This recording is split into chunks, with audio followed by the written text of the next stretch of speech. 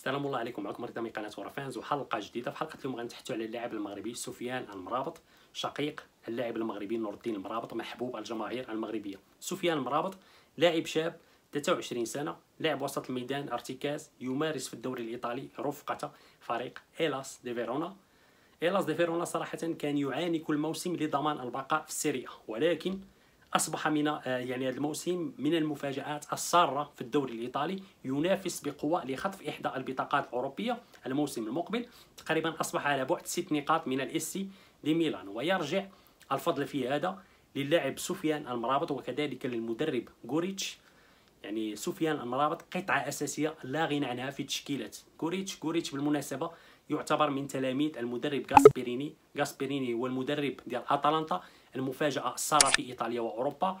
ينافس وبقوة اليوفي للفوز بلقب ال scudetto وكذلك ضمن التأهل لربع النهائي دوري أبطال أوروبا.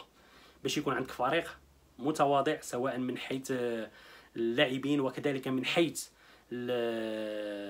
القيمة التسويقية للاعبين وكذلك من حيث البادجيت وتنافس اليوفي وبقوة وتنافس وتأهل ربع النهائي دوري أبطال أوروبا. تنظن يجب أن تتوفر على مدرب عنده شخصية قوية وكذلك لاعبين يمكن لهم ليترجموا أفكار ديال المدرب داخل أرضية الملعب.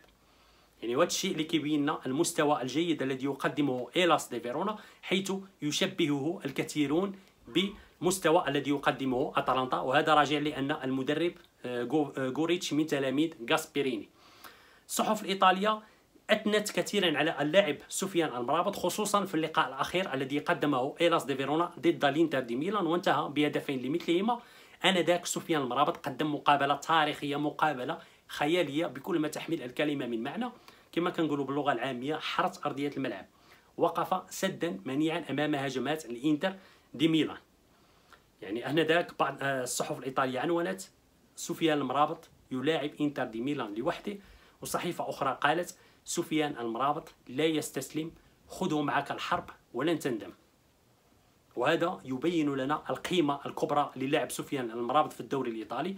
ويعتبره الكثيرون من أبرز لاعبين الارتكاز في الدوري الإيطالي. المدرب غوريتش صرح قائلا على سفيان المرابط يعتبر آه، أكبر وأحسن مفاجأة في مسيرته التدريبية. لاعب نضج وتطور بطريقة سريعة وبطريقة جيدة.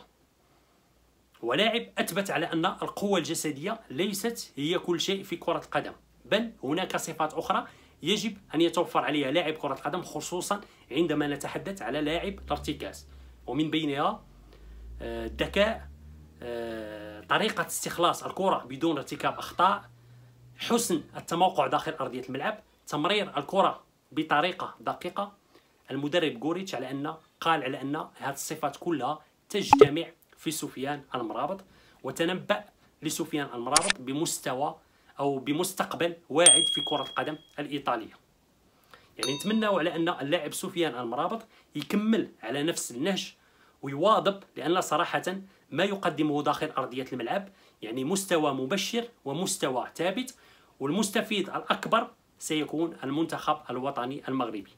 لأن منذ اعتزال اللاعب الأحمدي واللاعب بوصوفا المنتخب الوطني المغربي عانى كثيرا في وسط الميدان وتنظن على أن المكان ديال سفيان المرابط سيكون محجوز وبنسبة 99% في وسط الميدان. كيف ما قلت اللاعب ابتداء من الموسم المقبل سينتقل إلى فريق فيورنتينا. فيورنتينا الذي يعاني كثيرا هذا الموسم في الدوري الإيطالي. تنظن على أنه يحتل المركز الحادي عشر وهذا المركز لا يليق بفريق من قيمة فيورنتينا. تنظن على أن لهذا تعاقد فيورنتينا مع لاعب من قيمة سفيان المرابط. صراحة لاعب تحول من لاعب غير مرغوب فيه من طرف العديد من الأندية إلى لاعب تتهافت للتعاقد معه العديد من الأندية الكبرى. يعني سفيان المرابط كان قريب جدا التعاقد مع فريق نابولي. يعني إلا يعني بعض الجزئيات البسيطة أفسدت الصفقة في آخر لحظة. تنظن على أن نابولي الإيطالي سيندم كثيرا على عدم التعاقد مع سفيان المرابط. يعني في آخر لحظة فيورنتينا دخل وعطى واحد العرض جيد لسفيان المرابط قيمة الصفقة ب 20 مليون أورو. وكيف ما قلت صراحة هذا المبلغ زهيد مقارنة بما يقدمه اللاعب داخل أرضية الملعب. دائما جنسية اللاعب اللاعب العربي يعني ما كتدفع فيه واحد المبالغ كبيرة وهذا راجع لأسباب يعرفها الجميع. عموما بغينا نديروا واحد الحلقة ونتحدثوا على اللاعب المغربي سفيان المرابط لأني صراحة شاهدت العديد من اللقاءات لهذا اللاعب رفقة المنتخب الوطني المغربي. ما كانش واحد المستوى مبهر وتفاجأت بالمستوى الرائع الذي يقدمه الآن وتفاجأت بالتطور الكبير في شخصية اللاعب داخل أرضية الملعب. واش كتظنوا على أن سفيان المرابط سيتطور الأداء ديالو رفقة فريقه الإيطالي سواء هذا الموسم هيلاس دي فيرونا أو الموسم المقبل رفقة الفيولا وهل المنتخب الوطني المغربي سي هل سيستفيد من إمكانيات سفيان المرابط؟ وهذا ما نتمناه. إلى عجبتكم الحلقة ما تنساوش تدعمونا بال like وبال share. بالنسبة اللي كيشاهدنا أول مرة تسجل في القناة ديالنا. فعل جرس التنبيهات باش يوصلك الجديد أول بأول. وما تنساوش أيضا تسجلوا في الصفحة ديالنا على الفيسبوك والصفحة على الإنستغرام.